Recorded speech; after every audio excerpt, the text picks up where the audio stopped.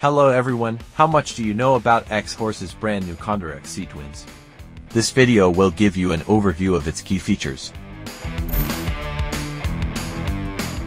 Condor XC Twin supports cutting household, automotive, and motorcycle keys. Compared to Condor XC Mini Plus 2, Condor XC Twins offers the following upgrades. 1. Brand new double cutter design.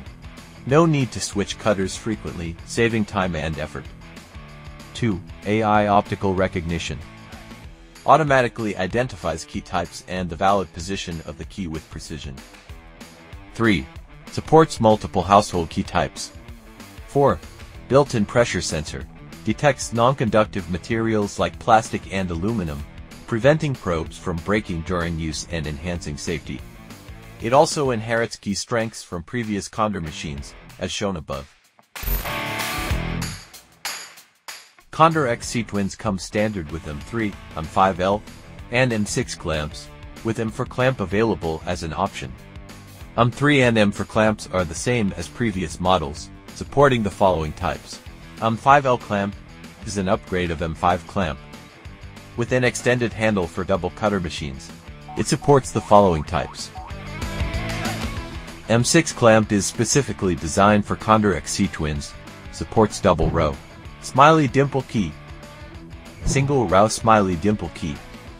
This further improves the performance of XC Twins in the household key cutting field. The supported cutters also differ from previous machines.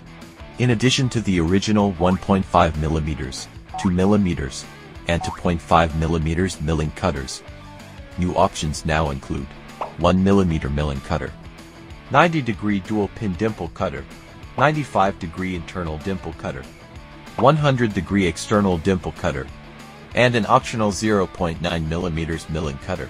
These additions allow XC Twins to support a wider range of household keys, making its functionality more complete. That's the basic introduction to Condor XC Twins. We'll soon release a series of videos with more detailed demonstrations of its features and operations. Stay tuned, see you next time.